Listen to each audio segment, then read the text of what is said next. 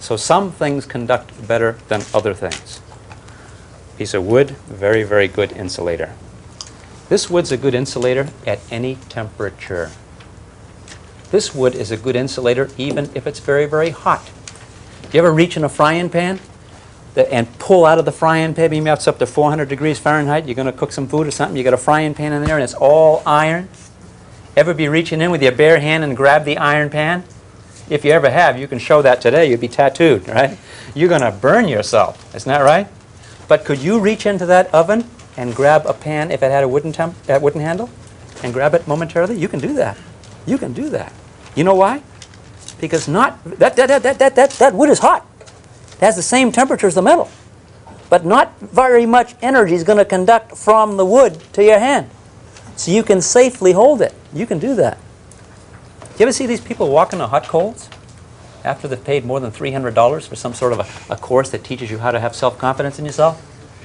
And then the test of that self-confidence is they say, we are going to violate the laws of physics and show you that mind over matter, that $300 you've spent for that 15-minute session is going to pay off because we're going to apply those techniques and we're going to show that you can walk with bare feet on hot coals. And so the people do that. They take off their shoes, bare feet, they step on the hot coals, they walk across, and they think they have violated physics. Gang, those are hot coals of what? Wood. Wood. And that wood is very hot, isn't it? How much of that heat in that wood is going to get to the feet? What does it depend upon? Not only the temperature of the wood, but something else. Begin with a C, end with conductivity.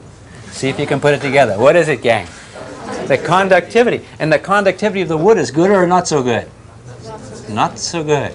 So when you step with your bare foot on that hot coal, there's a heat transfer. But a lot or a little? What's the answer begin with, gang? Okay, L. Okay, so it's a li- little L, right? And so only it's that's really really neat. Only a little bit of heat will get to your foot, and you can walk. Now you're not going to stand in one place there, okay? You're not going to reach in that oven and hold and just hang on to that wooden handle, and you're going to be hurt. But you can grab it, and pull it out, boom, and you can step, step, step, step across red hot coals of wood without harm.